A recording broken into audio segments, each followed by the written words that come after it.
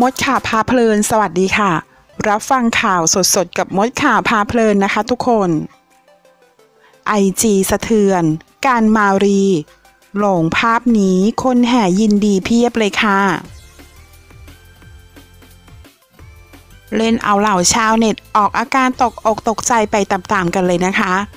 เมื่อนักร้องหนุ่มเสียงดีอย่างกันนภัทลงภาพกับแฟนสาวมารีเบอร์เนอร์ค่ะ พร้อมเพื่อนหญิงชายที่ถือป้ายขนาบข้าง ทั้งมีหลานไวๆนะ และก็ยินดีด้วยนะ จนใครต่างสงสัยแห่ถามกันใหญ่นะคะว่าทั้งคู่ เตรียมมีข่าวดีวิวาฟ้าแลบส่งท้ายปลายปี ตามรอยคู่อื่นๆหรือเปล่าค่ะ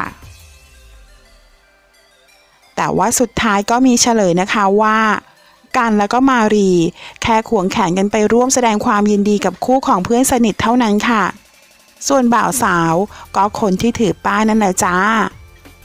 แต่ถึงจะเป็นแค่เพื่อนเจ้าบ่าวเจ้าสาว แต่ว่าสาวมารีก็โชคดีรับช่อดอกไม้ได้ด้วยนะคะ งานนี้อาจมีลุ้นว่า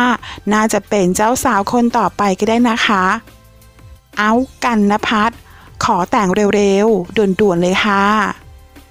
ขอขอบคุณข้อมูลจากที่นี่ .com ค่ะ